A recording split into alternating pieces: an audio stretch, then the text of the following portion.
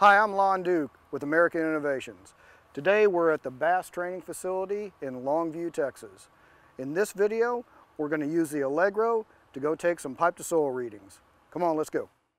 Today, to get our structure pipe to soil readings, we're going to be using the data cane with a 100 foot reel. We're going to be using our copper copper sulfate reference cell and our Allegro QX. Okay, the first thing we're going to do is we're going to attach our reference cell to the end of our data cane. Next, we will mount our Allegro onto the cane using the clamps.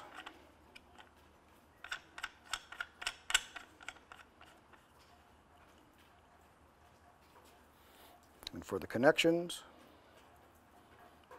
put the positive into the positive, which attaches to the wire, the negative in the common, which attaches to the reference cell. And we'll have a remote trigger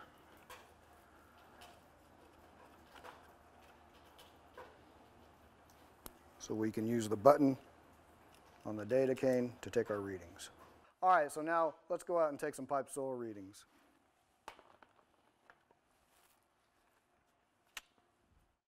So to take my structure pipe to soil, I'm going to take the positive lead. I'm going to hook it up to the cable going down to the structure. I am in my structure pipe to soil prompt.